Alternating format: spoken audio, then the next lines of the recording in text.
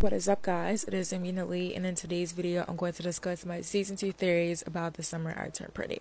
So many of you guys may have not read the books, which is totally fine. For clarification, the book has three parts. The Summer I Turned Pretty We'll always have summer and It's Not Summer Without You and we'll be talking about It's Not Summer Without You.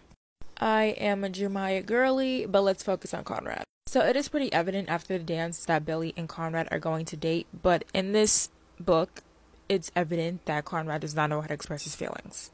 But at the same time, he's going through a lot with his mom. It's not evident if she's going to pass away in the series, but in the book, she does from cancer.